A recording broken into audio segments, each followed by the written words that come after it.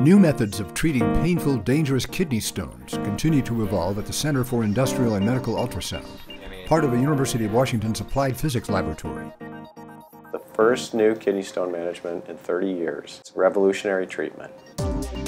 This new treatment is non-invasive, powered by focused ultrasound, providing safe, timely management of kidney stones on Earth and very soon now in space. NASA funded us initially to invent this technology, this idea that you could, with a transducer or probe pressed up against the skin, use the sound wave force to push the stone, to direct its movement through the passage out of the kidney.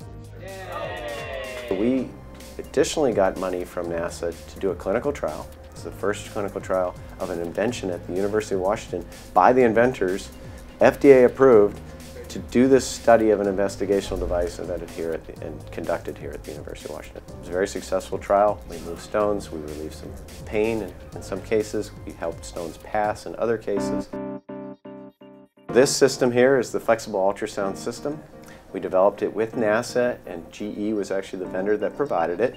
It's now a GE system available clinically.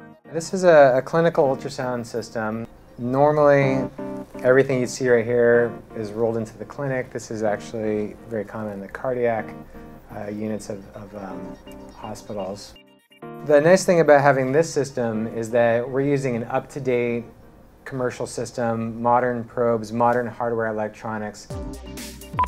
We had this initial success of pushing stones, and the, and the project has continued to grow from there.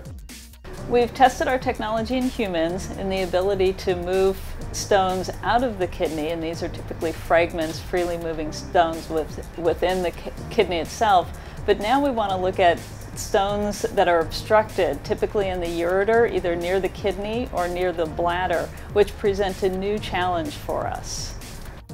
This is an example of your kidney with the ureter.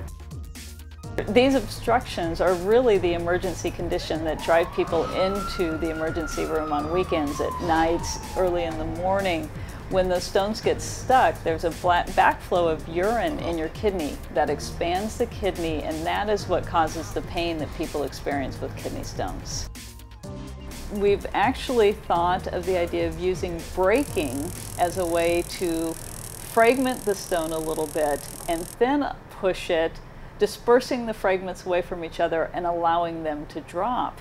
Burst wave lithotripsy, or BWL, has also been developed at the university in conjunction with ultrasonic propulsion over the last five years, and we found that integrating the two together actually helps both of them. They become a more efficient technology. In addition for NASA, we're developing phantoms to train and study how we break stones or move stones or image stones. This is a kidney phantom. The stone is able to be placed inside and then these are some of the model stones that we use or we use real human stones. We're further developing our technology to grab the stone and be able to drag it along the ureter. Grabbing a stone in much the same way fictional Star Trek space vehicles deployed a tractor beam. Tractor beam is kind of this colloquial term. Doesn't sound very scientific, sounds like science fiction. But these acoustic waves can be focused, so they can be focused beyond the stone, next to the stone. And those waves create pressure. And so you can build basically a cage of pressure around the stone. And then as you move the transducer, you can drag the stone with it. Or as you move the beam through refocusing, you can kind of electronically steer that stone. Changes in air pressure or the gas composition of the air we breathe affect the tiny gas pockets that cling to kidney stones. These gas pockets are important for detection, imaging, and breaking. I've been working on kidney stone detection for a while. Um, one of the things with ultrasound can be used to detect kidney stones and adding this color Doppler twinkling artifact that shows the stones as color on the grayscale image makes it really easy to be able to identify the stone. But research indicates relatively higher levels of carbon dioxide, such as found aboard the space station, tend to mask the twinkling artifact. So now it's much harder to find the kidney stones. Preclinical tests in a hyperbaric chamber are underway to determine these effects. We've done several different concentrations of carbon dioxide, still see the big effect And so we're looking at teaming up with NASA to do a human subject trial and see how carbon dioxide affects kidney stone imaging. The idea that maybe breathing oxygen can be used to enhance twinkling on Earth and in space. The team has also completed preclinical tests with NASA funding to confirm that their burst wave lithotripsy treatment is effective even in a high CO2 environment, such as the International Space Station. In time, this system will be reduced in size to facilitate transport into orbit.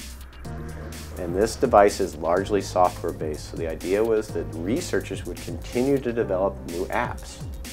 New application software would simply be uploaded to the system aboard the space station. No hardware replacement necessary. The latest in kidney stone management, on Earth and in space. Science at work for you. This is APL, the Applied Physics Laboratory at the University of Washington in Seattle.